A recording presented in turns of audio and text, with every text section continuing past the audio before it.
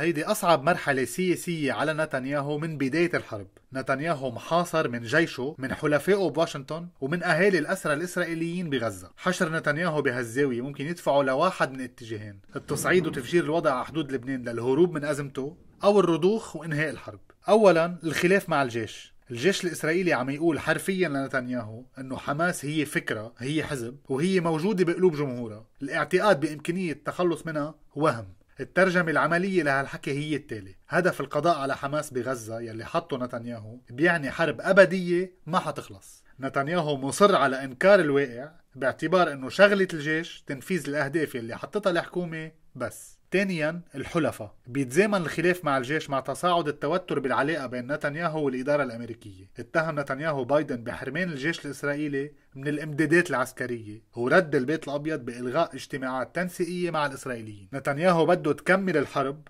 والبيت الأبيض ما بده يتورط بحرب أوسع على مشارف الانتخابات الرئاسية. أما على الجبهة الداخلية فخسر نتنياهو غطى شركائه السابقين من حزب معسكر الدولة واضطر يلغي حكومة الحرب. ولهالسبب صار نتنياهو خاضع لابتزاز وزراء اليمين المتطرف ليحمي حكومته من السقوط. ثالثا أهالي الأسرى عم تتصاعد مظاهرات أهالي الأسرى بغزة ومطالبهم عم تندمج مع مطالب المعارضة لتشمل إجراء انتخابات جديدة بتعيد تشكيل السلطة بإسرائيل.